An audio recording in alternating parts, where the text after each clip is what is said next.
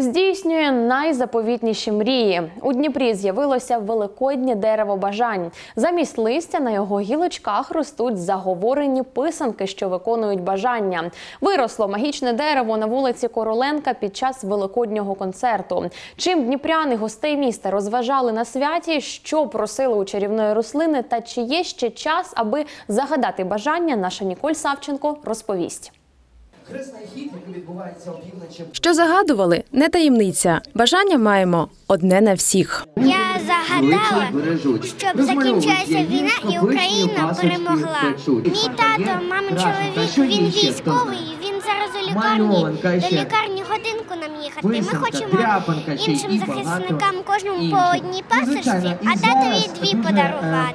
Інструкція загадування проста, говорить Матвій. Хлопець на писанках вже знавець. Нарозмальовував для великоднього дерева з понад 10 яєць. Е, Я допомагав робити писанки. Е, Я ходжу на, е, на кружок писанкарства. Потрібно взяти писанку та її повісити. І так ви, і ви коли вішаєте, ви загадуєте бажання, і, і, і воно збудеться.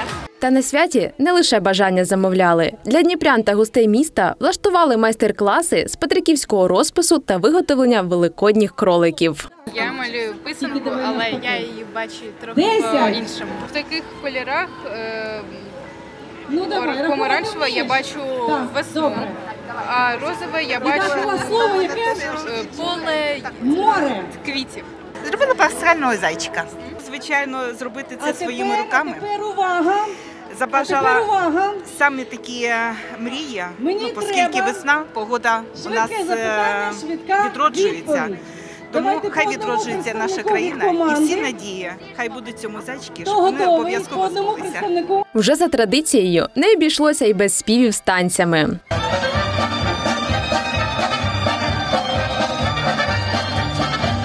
Для маленьких відвідувачів концерту влаштували мовний батл та великодні конкурси.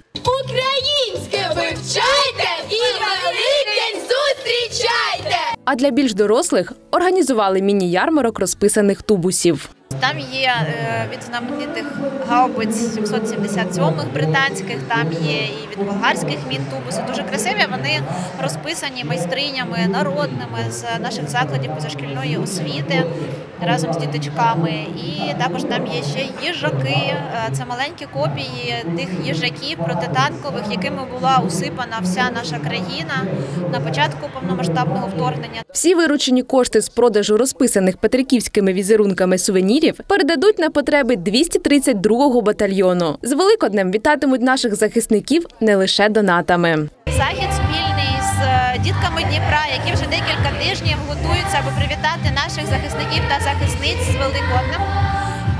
Робили листівки, робили писанки, писали, пасочки випікали і, звісно, обереги. І вже ось в ці вихідні, так, в суботу і в неділю відправляться паски до наших захисників, а також у села деокуповані Херсонщини. Подарунки вже в дорозі. А ось великоднє дерево все ще красується на вулиці Короленка. Кожен бажаючий може попросити в нього про здійснення свого найзаповітнішого бажання до 17 квітня. Ніколь Савченко, Ярослав Засоба, Open News, телеканал відкритий.